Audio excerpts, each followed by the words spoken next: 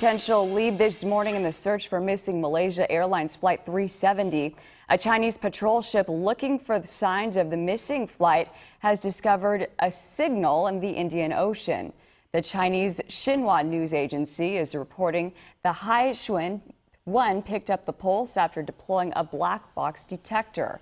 They say the signals were detected on the standard beacon frequency, but there's been no official confirmation that this is indeed related to that missing jet.